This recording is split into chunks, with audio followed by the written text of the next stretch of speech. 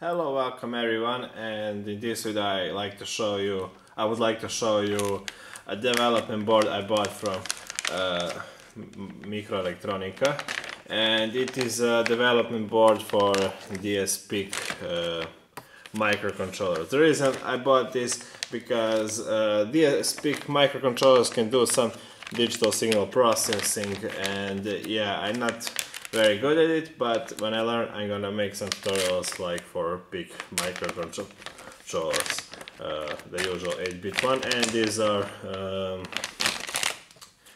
you know, 16-bit uh, microcontrollers. So, uh, yeah, it's a really nice board. Uh, here is the DSPIC 30F4013, and uh, I don't know what's special about that in particular. Uh, it says it's for motor control, but MikroElektronika made uh, some good books and with this particular micro DSP microcontroller and two more and you know that's why the reason one of the reason I bought it so I would learn to program DSP microcontrollers okay now here I have a, a, a GLCD module uh, sockets and headers over here. I can use uh, for touch panel and also I can use for uh, TFT boards. So TFT boards are very good. They, uh, they can display colors. Here I have the touch panel controller and here are the usual pins. Uh, here I have the LCD 2 uh, times 16 um, I have some segment displays over here here I have a piezo buzzer, which I can generate some sounds.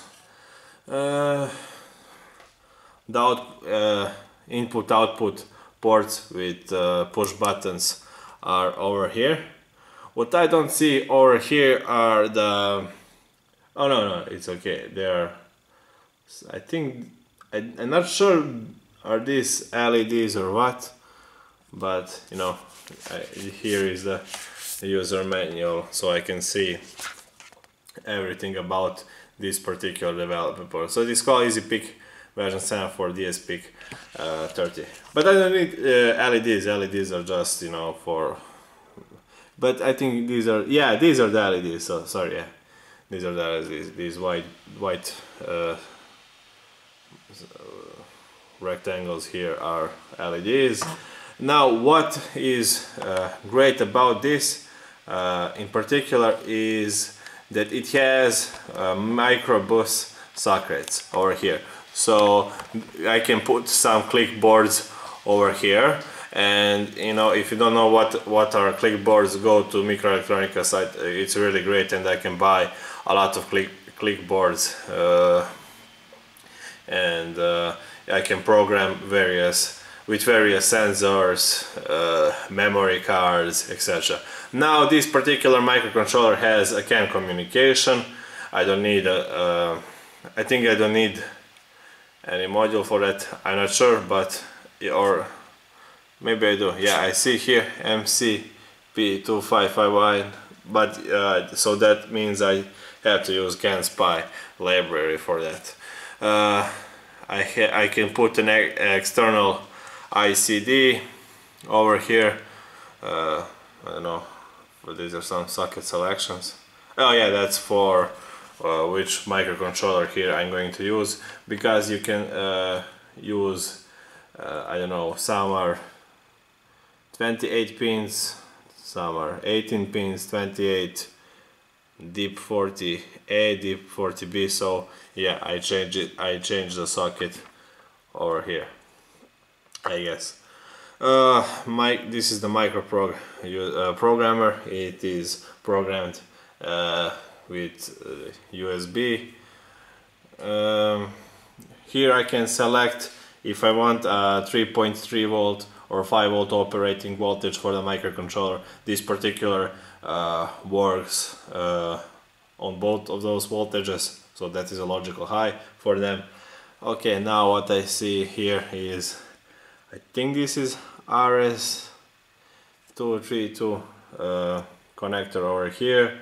Uh, I have an USB uh, connector over here, port over here, with uh, UART communication. And uh, yeah uh, 7 segment displays I already told that. Uh, that's basically it.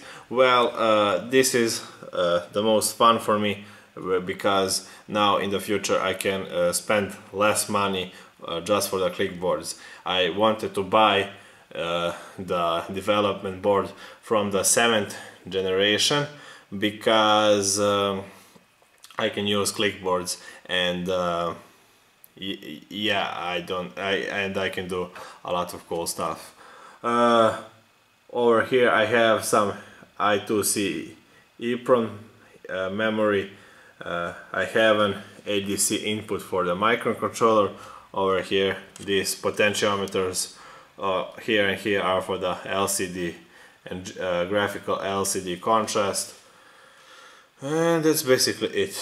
And I, I think I have here some uh, input output ports and the touch panel controller. So uh, yeah I'll I'll uh, learn a, little about this program it a little bit use uh, DSP uh, engines for this Spike mic uh, microcontroller. Read books about this development board and I hope I will make some tutorials on my YouTube channel. And yeah I, I have these user manuals I think I, I yeah oh, sorry I see I have some CDs with some examples and uh, yeah you can uh, learn a little you can uh, see this on MikroElektronika's uh, site so thanks for watching and See you in my next video. Goodbye.